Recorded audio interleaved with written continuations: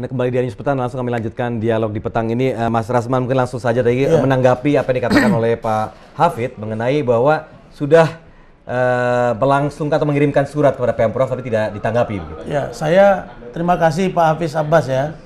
Uh, saya berharap Pak, karena saya tahu Komnas HAM ini dibayar oleh negara, ya begitu BB ya, Betul. untuk membangun komunikasi dengan rakyat untuk memantau bagaimana sebenarnya penegakan HAM di negara ini. Hmm. Salah satu contohnya itu adalah bagaimana seorang Ahok berinstrumen dengan cara melanggar HAM dan Komisioner HAM mengatakan itu ada pelanggaran. Tidak ada jalan lain Pak Abbas kecuali merekomendasikan bahwa HAM harus merekomendasikan kepada pimpinan tinggi negara ini dan kepada lembaga eksekutif legislatif. Misalnya kepada presiden, kepada DPR, bahwa ada gubernur yang melanggar HAM secara sengaja. Jadi saya berharap Pak, agar Komnas HAM nanti mendampingi kami akan datang bertemu Bapak. Ha, mari kita bersama-sama Pak ke DPR nah. RI, ke Presiden yeah. untuk supaya diambil tindakan tegas. Bagaimana nah. mungkin sebagai anggota HAM, sebagai komisioner HAM, Bapak tidak bisa masuk ke dalam? Pak Hafid, ini ah. langsung ditanggapi tuh, ya, sudah diajak oleh Mas Rasman nih. Uh. Pak Hafid? Ke Gubernur Ahok itu saya menyampaikan juga ke Presiden, ke Kementerian nah, terkait, ke DPR. Kita bersama-sama Pak, kita bersama-sama Pak. Ke depannya Bapak? Ya, aduh, oke, setuju, setuju. Karena ini kan kalau ini dibiarkan tanpa kepastian pada rakyat ini di kota untuk uh, peroleh hak-haknya, ini ini dapat bawa ke mekanisme internasional.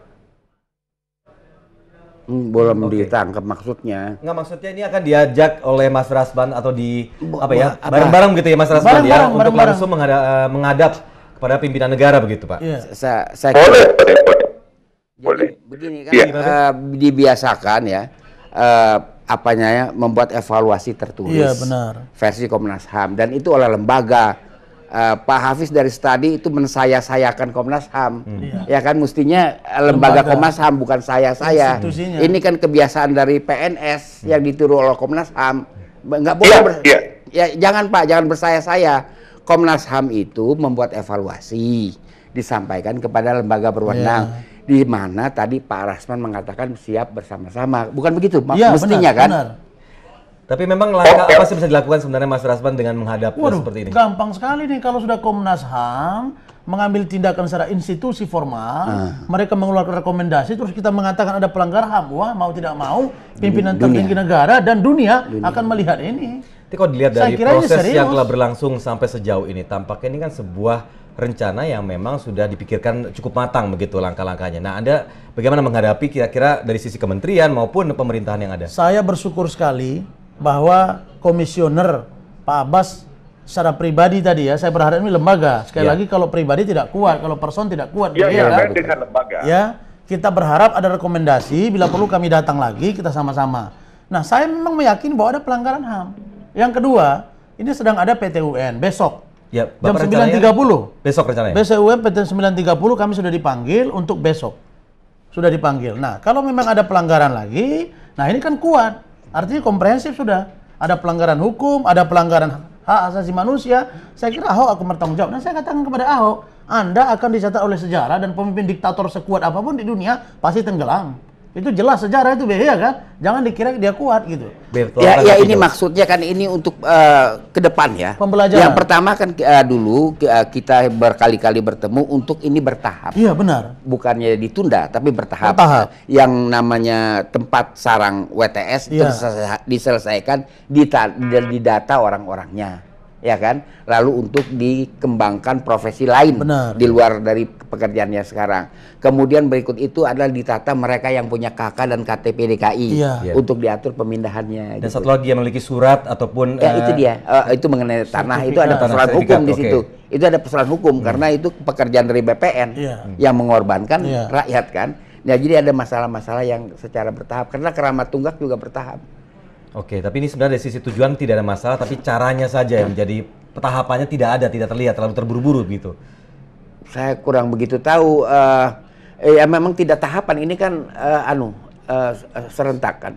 Spontanitas. Spontanitas. Uh, ya serentak saja. Kalau begitu. dia sebagai seorang pemimpin, kan Mbak ini pernah DPR RI, saya juga pernah di DPRD ya. Kan ada perencanaan. Hmm. Kalaupun ini program katakanlah prioritas, Ini tidak dianggarkan sama sekali, tidak ada dianggarkan di APBD 2016. Lalu kemudian ini ujuk-ujuk gitu ya. Nah, lalu serta merta, saya nggak bisa bayangkan Pak Abbas sebagai anggota Komnas HAM kemudian mau datang nggak dikasih masuk Pak. Kalau menyelamatkan diri Bapak nggak bisa, bagaimana dengan rakyat Pak? Ini bingung juga saya. Coba Pak Padahal saya tanggapi- datang, maaf ini tanggapi. Pak, saya kritisi.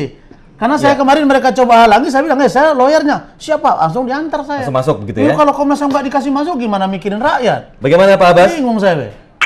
Ya, ya pada eh, saat saya berkunjung ke sana, ya ada luar biasa. Kan tidak sekali atau dua kali saya ke sana, karena sudah eh, sehari sebelumnya, dua hari sebelumnya saya di sana. Dan memang kemarin itu disampaikan bahwa tidak boleh ada yang mendekat. Dan saya melihat ada perubuhan eh, rumah-rumah di sana dengan warga dan daripada ribut, bentrok.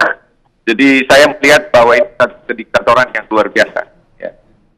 Oke, eh, tapi Babe kalau melihat dari situasi Kalijodo balik dari pantauan Babe dari tahun 19 1970-an misalnya. Memang selayaknya seperti apa sih Oh dulu bertahap. Bertahap. Bertahap, ada dialog dan sebagainya. Ada proyek yang jelas bagi si WTS, ada proyek yang jelas bagi orang yang bekerja halal. Kan ada yang bekerja halal di situ. Ada. Iya. Ya kan? Ada. Ah, bagaimana penampungannya? Lalu eh, apa namanya bagi orang yang berhak tinggal di tempat itu kan ada. Nah itu diatur. Saya mengikuti dari zaman tahun 50. Oke. Dari- nah, ya. dengan rencana Mas Rasman tadi, Babe ada rencana untuk ikut juga untuk membantu bagaimana?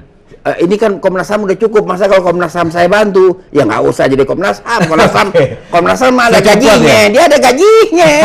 kita dari mana sampai yang gaji kita? Mas Rasman bagaimana? Jadi begini, saya ingin jelaskan untuk masukan bagi semua warga negara Indonesia, pemimpin dan Komnas HAM juga Babe nih. Jadi conditional objektif yang ada di di Kalijodo itu begini. Ini ini realita bukan bohong ya. Yang ternyata PSK itu itu 100% itu pendatang. Dia yang tinggal di situ datang, kemudian dia kerja pulang. Dan kalaupun ada yang nginap di situ itu memang orang luar. Tetapi yang penduduk setempat itu bisa dikatakan, dan mereka kata, saya cek nih, tidak ikut-ikutan. Jadi kalau misalnya kayak kemarin kita cerita kan ada misalnya dia saya tak- kan saya cek lagi 9 tahun atau begitu menstruasi kan gitu ya apakah itu akan menjadi anak yang ikut orang tuanya atau apa dan lain sebagainya melakukan kejahatan ternyata tidak Enggak ya. jadi yang ada di situ justru orang yang datang, kemudian menjadi PSK, dan anak-anak ini tetap karena memang ada PAUD juga saya lihat di dalam, ada Oke. pendidikan anak usia dini, ada musola, terus ada juga gereja, terus ada pengajian rutin, ada pertangyangan Baik. kalau Batak ada. Nah, Mas Rasman, berarti terakhir besok adalah PT UN langkahnya. Iya. Dan Dan, saya nambah lagi nih amunisi. Kalau Iya, dengan Komnas saya HAM ya? yakin dengan Komnas HAM. Oke, terakhir eh, Pak Abbas, Ya, ini secara kelembagaan sudah menyetujui ya langkah untuk bersama-sama dengan Mas Rasman sendiri untuk bisa menghadap. Ya kami di Komnas HAM ada lembaga yang memang hadir di sini untuk eh, bersama warga ya dan eh, memang mandat yang diberikan oleh sejumlah undang-undang ya memang begitu. Jadi ada Jadi sudah oke ya? eh, kami harus secara sungguh-sungguh memperhatikan supaya tidak boleh ada warga negara yang kena digusur, diapain ya tanpa pertimbangan yang sesuai dengan aturan yang ada. Jadi Baik. saya mau sampaikan sedikit aja, Bung Tommy. Pak Abbas, Ya. Ka- kalau begitu saya dengan eh, beberapa teman warga di sana yang menjadi tokoh untuk bertemu lagi dengan Komnas HAM, saya berharap kita press conference bersama, lalu kemudian kita buat surat bersama, Pak. Mohon perkenannya, Pak, minggu depan, Pak. Boleh, boleh. Siap. Minggu Saya- depan ya? Iya. Oke.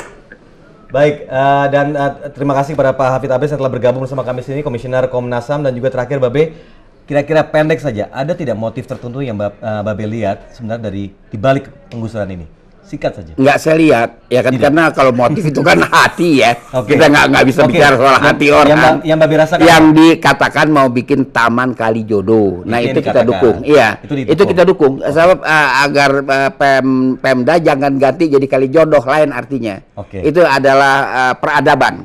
Taman kali jodoh gitu. Oke. Nggak pakai hak. Oke, kali jodoh ya. Kali jodoh. Jangan pakai jodoh begitu Oh, ya. lain-lain Oke. artinya. Babe terima kasih banyak telah Iya, hadir bersama kami di sini. iya. Mas Rasman terima kasih Siap. banyak telah hadir di Anyus Petang dan kami harus break. Pemirsa meski terpaksa warga asal Kalijodo telah menempati rusun Marunda dan Pulau Gebang namun tidak semua warga merasa nyaman saat menempati rusun. Kami akan kembali dengan informasi lainnya tetaplah di Anyus Petang.